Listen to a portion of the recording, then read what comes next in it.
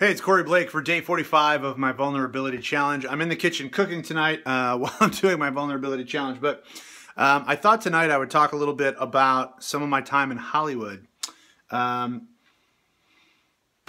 which I loved until I didn't love it anymore. Um, I eventually had uh, a bit of an identity crisis while living in Hollywood. Um, I was an actor for a period of time, and then uh, there came a point at which uh, acting was no longer satisfying to me. And I found myself going on auditions and feeling really bitter that they were taking me away from the creative work that I loved, which was at that point producing and directing stuff. Sounds very pretentious to say out loud. and uh, and I kind of felt like I was cheating some younger kid out of an op uh, opportunities that, that, he would have loved to uh, be going on those kinds of auditions.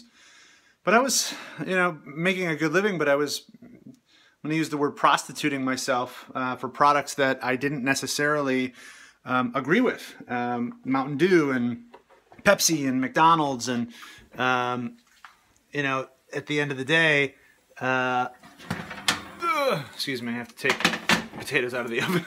at the end of the day, uh, I wasn't really contributing to the world in the way that I wanted to. And so I had to reconcile that. And um, and then I had to deal with the issue of, okay, well, if I'm not an actor, who am I? And that was really tough for me. Um, so tough that I, I totally um, fell into uh, smoking a tremendous amount of pot. Like, if I was awake, I was getting high uh, for a while. Um, and I was kind of a functional stoner. I'd, I'd wake up and I'd get high and I'd get a lot done until the later half of the day when I started getting really burnt out. And, uh, and at that point, I just was cranky or not a not a nice person to, to be around. But people didn't necessarily know what I was up to or uh, or what was going on with me because I was certainly not being verbal about it.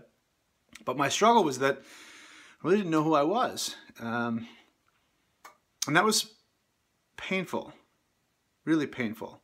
I had kind of lost a lot of my identity in being in LA, trying to be the thing that I thought LA wanted me to be in order for me to get where I wanted to go and I wanted to be successful. Um, and at that point, I think I wanted to feel good. I wanted to feel accomplished. I wanted to feel cool. Uh, I wanted to get the jobs uh, so that uh, friends and family and even people that I didn't know admired me. And that was, you know, very driven by ego. And I still, I still have to manage that certainly at times. But back then, it was such a driving force that really changed who I was and not for the better. Uh, and I, so I, I, I, really struggled through that period of time. Um, I was blessed to come across uh, come across Dawn, my my, my now wife, um, and I still smoked a lot while we were together, but she didn't know.